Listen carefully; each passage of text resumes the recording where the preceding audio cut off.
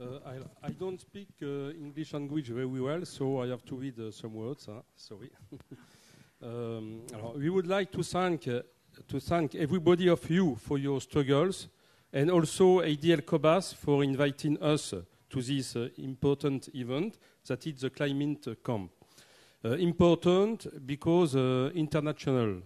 Uh, like the Union Syndical Solidaire that we represent, ADL Cobas is a member of the International Trade Union Network of Solidarity and Struggle.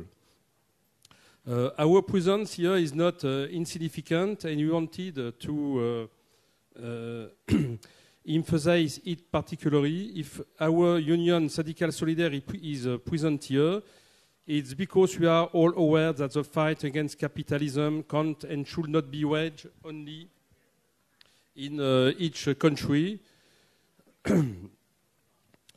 our, our adversary is international.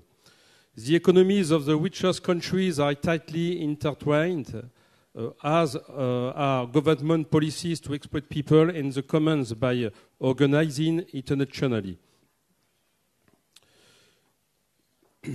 We must uh, urgently work on mobilizations to defend essential needs on uh, an international scale so abused by capitalism, which never ceases to seek in the smallest corners of the planet what can be marketed, including our health, nature, and uh, biodiversity, access to water, land, and natural resources, and their sharing by looting them most of the time, in particular via dictatorships and unequal economic, economic exchange, which succeeded colonization.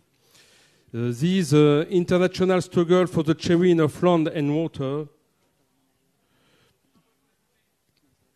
uh, we find it in South America as well as in France and Europe, or even in Palestine and Kurdistan. Already in 1979, Haroun Tazieff, a famous volcanologist, wanted to raise awareness about global warming. 30 years ago, everyone knew uh, what has been done.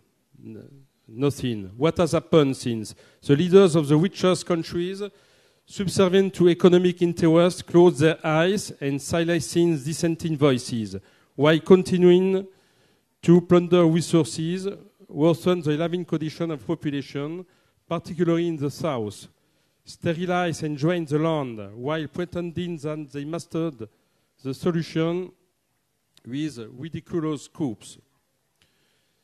Uh, so yeah, for the language. we welcome the current awareness which could, in the best of courses, limit some of the damage but uh, without being behind those who would like to seize the opportunity to continue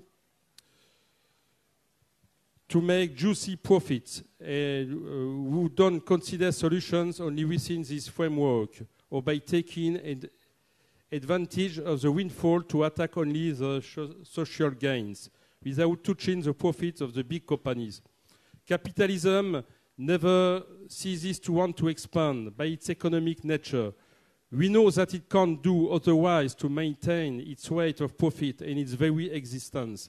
Capitalism, even if it drapes itself in the green flag, will not give it up. We must not just him, and we too much, too must all resist together, beyond borders, to prevent, to prevent the financial markets from commodifying basic human needs.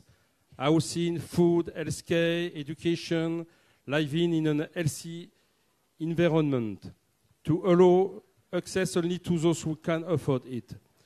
Depending on the country, they all still public services, social protection system, modes of agriculture, mechanisms close to the population or managed by the population which are not yet commodified or not totally, and which contribute to our rights fundamentals, to access to our health, to the preservation of life, human and animal, and to our essential needs. But uh, whatever our country, whatever the system is in place, we face the same difficulties and the same voracity. This can be a considerable, considerable force. The de defense of the commons must unite us and federate our own mobilizations to preserve them and reclaim what has been stolen from us.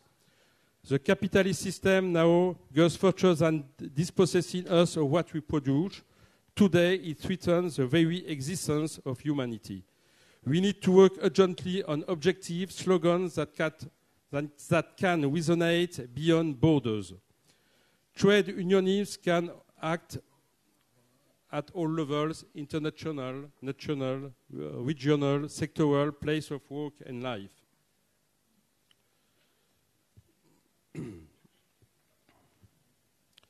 we need a radical transformation of our modes of production and consumption to respond to social and ecological emergencies and therefore coordinations of struggles.